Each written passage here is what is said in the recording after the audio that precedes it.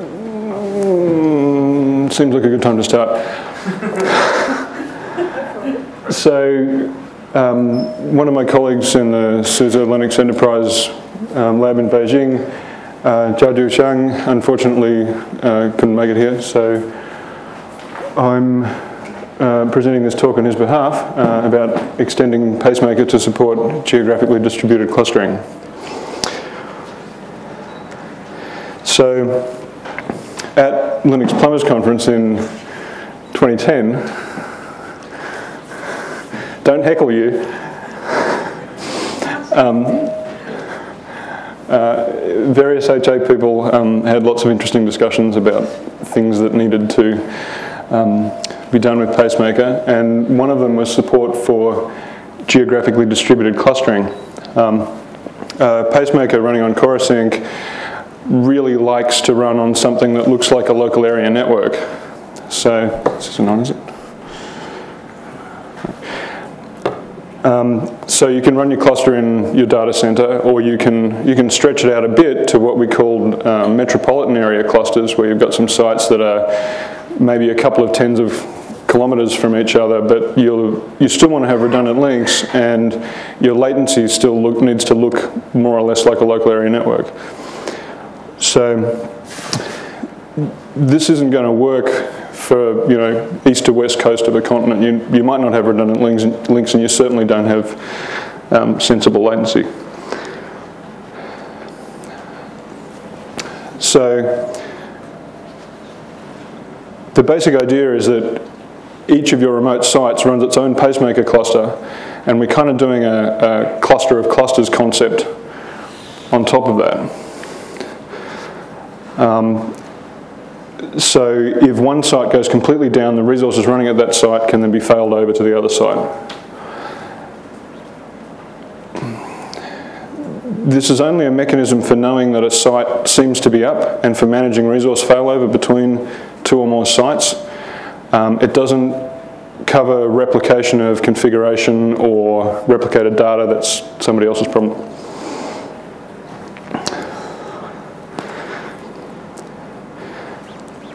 So the idea here is that to Pacemaker, um, we've added a what's called a, a ticket, um, which you might think of as a cluster-wide attribute.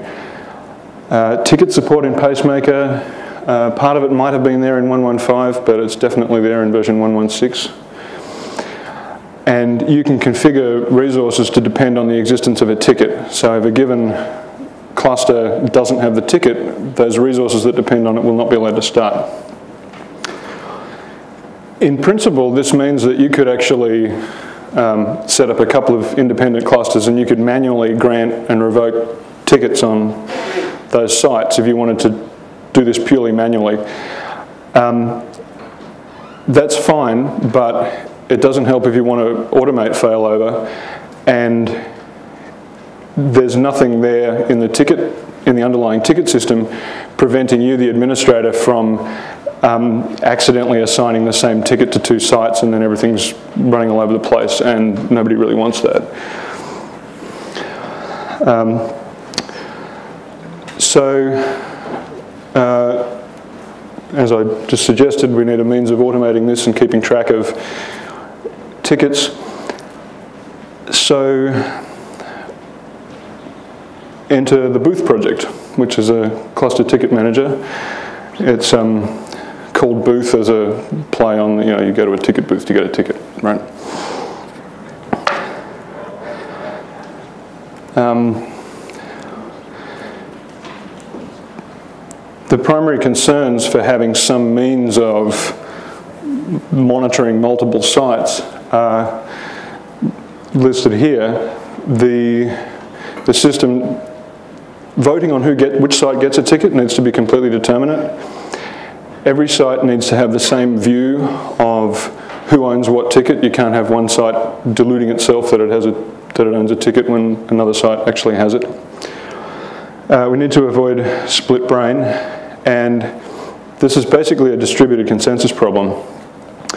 Uh, so the Paxos algorithm was selected here.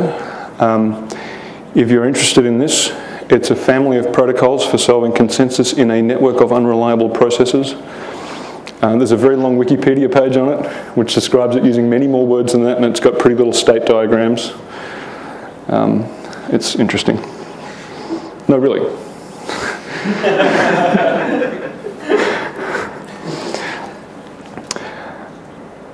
So the basic design is that every site, everywhere you've got one of your, your, your clusters running, runs a, an instance of the, the booth daemon.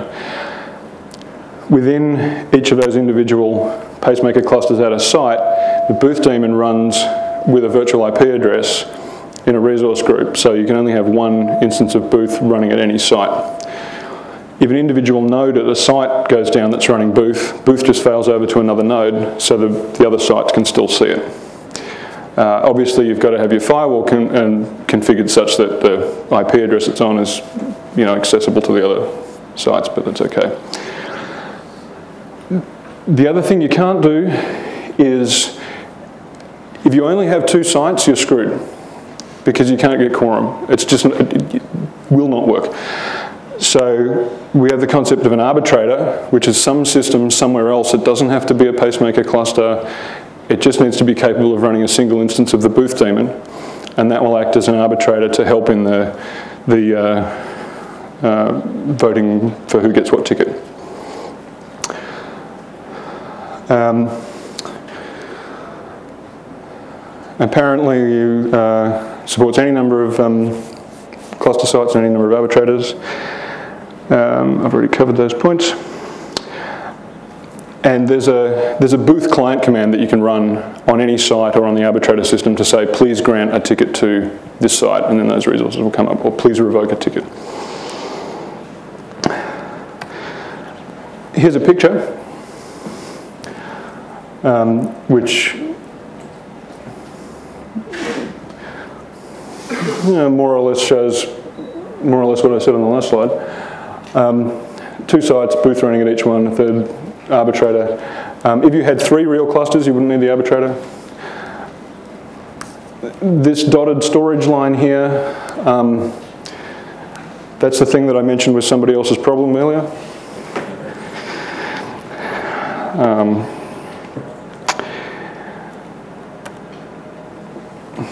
in terms of implementation, um, the uh, Paxos and Paxos lease algorithm underlies all of this. Um, I believe Jiaju has some interest in actually splitting off that uh, the Paxos part into a separate library so that other people with distributed consensus problems can then use that. Um, that hasn't happened yet. I don't know what sort of time frame there is there, but that's something that he's very interested in doing. Um, ticket management builds on top of the Paxos layer. Transport between sites um, is via UDP at the moment. Um, when these slides were written, um, support for more protocols was planned.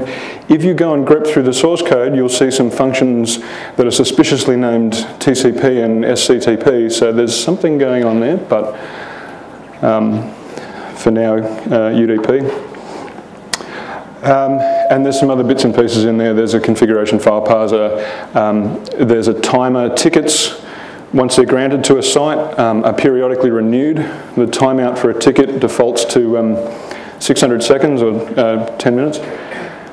If a ticket is unable to be renewed uh, within that time period, um, it will get revoked from that site. Uh, that uh, that expiry is configurable on a per ticket basis if you want to change it. So that's, that's about the overview. In terms of how you actually configure this stuff, um, I should have done Florian's show of hands before. Who's familiar with Pacemaker? Uh, that's enough that you can tell you, and you can tell you. no. Um, each of your sites is an independent cluster. You're going to have to configure Pacemaker at each site, configure each of the resources at each site. And then what we've got here, this resource ticket, um, may look suspiciously like a uh, location constraint because that's effectively what it does.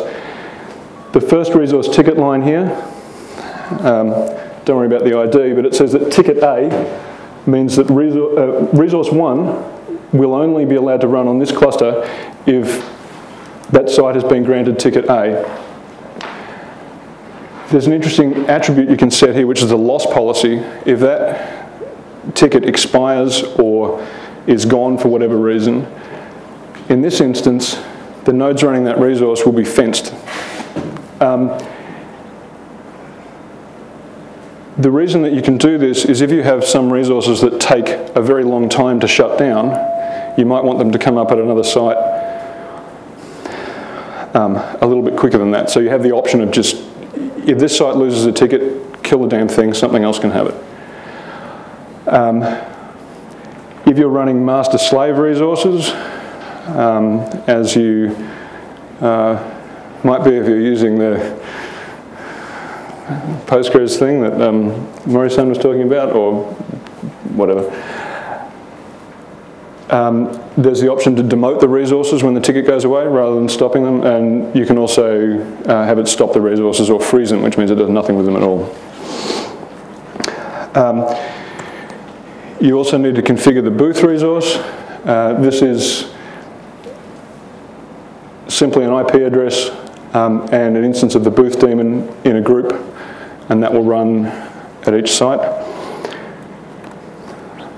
Booth itself has a configuration file. You need to have the same file on all of the nodes at all of the sites.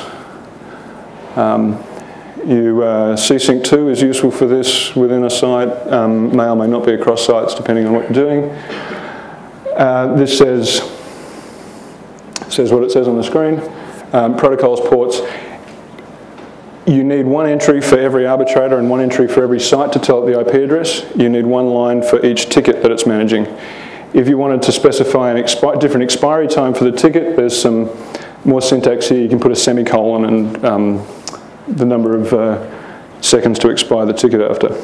If you had just the, uh, if you had no arbitrator but three se separate sites, uh, would that, uh, you just specify those, if you... Oh.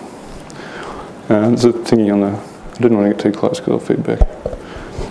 If you, if you did, if you had three sites, three active sites, Yep. and uh, you did not, uh, you would just specify three sites, that arbitrator line is only required if you have a site which is just uh, an arbitrator? That's correct.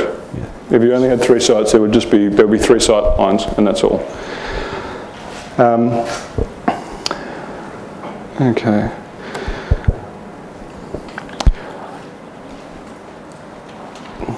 Something I didn't mention before, the administrator does actually have to actively grant a ticket to a site before anything will happen. Um, so from any site or arbitrator, uh, you can run the booth command line tool, booth client list will list you all of the tickets and where they're at. Um, to grant a ticket to a given site, booth client grant, ticket name, site IP address. To revoke, um, a similar sort of thing. You can also use the underlying CRM ticket or CRM site ticket commands, but don't, please, um, because you'll accidentally grant a ticket to a site that Booth's already managing. So just, you know, if you need to, you can, but you should let Booth do its thing. Um, and hmm, I'm going to try and preempt one question. Um, if you've got more than two sites, three or four, um, what will happen when one site loses a ticket is um, the other sites will vote about who gets that ticket and where those resources come up. Um, so a potential question there is can you have a preference for what other sites or resources going to come, at, come up at? As far as I can tell, uh, this hasn't been documented yet, but there is, um, if you look at the code, um, a notion of a weight applied to each site. So if you do actually want to, um, if something's running here, then you want it to try to go there before it goes there, there's, there's something in there that'll help with that. Um, and um, with that, Um, the project itself is hosted on GitHub uh, in the Cluster Labs repo. Um, please go look at the code. Please build it and play with it. You will need Pacemaker 116 um, in order to do so. Uh, the astute observer may have noticed drafts of SLES 11 SP2 um, HA documentation which mentions Booth.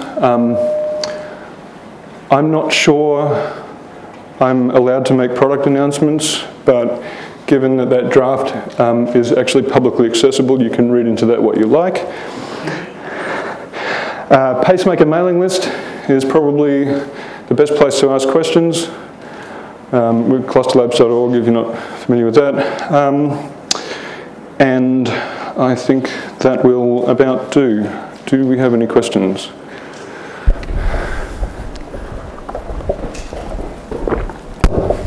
Uh, those commands about uh, the tickets looks interesting. What, what, what happens if I make a mistake and suddenly two nodes or two sites or three nodes and three sites at the same time think that they own the ticket? The same ticket. The same ticket. Um, okay.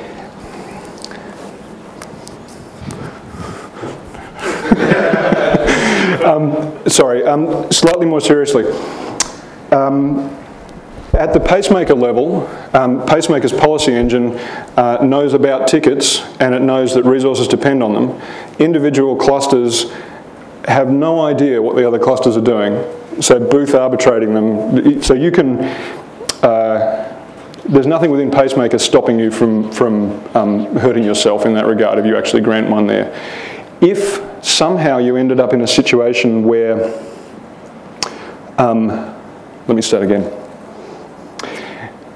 Unless Booth is broken, um, it's not going to grant the same ticket to multiple sites. That would be a very, very large, horrible bug. I'm not sure if that answers the question. What if it does anyway? If it does, oh, if it does anyway, if somehow it's broken and the tickets get granted to two sites at the same time, those resources are both going to come up on both sites. Um, and hopefully somebody will page you.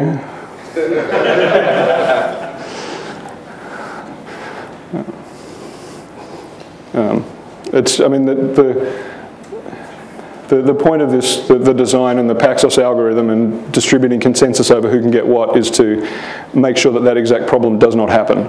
So, um, yeah. Anybody else?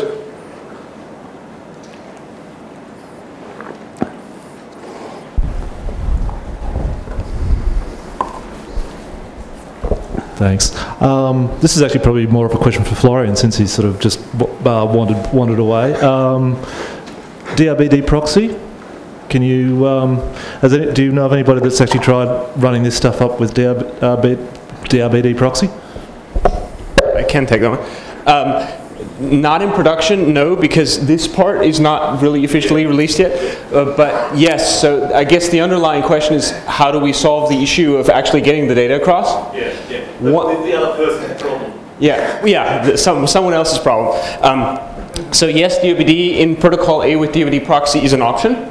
So that's, uh, that's one possibility. Another thing that I can think of right now is um, GlusterFS is getting geo-replication in 3.3 and that would be another one. In my personal humble opinion, um, it's not quite as mature as um, DRBD with DRBD proxy, because what you can do with DRBD is you can easily fail back, which in Gluster basically is a major operation.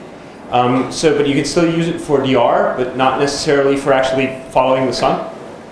Um, but those would be two options that come to mind. For database applications specifically, it would be um, database replication, MySQL replication, Postgres replication, Galera, Tungsten, what have you.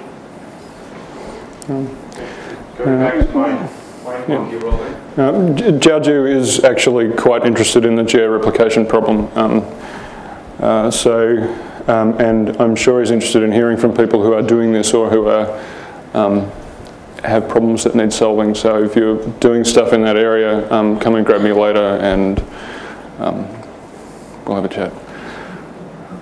Um, anybody, uh, how am I doing for time?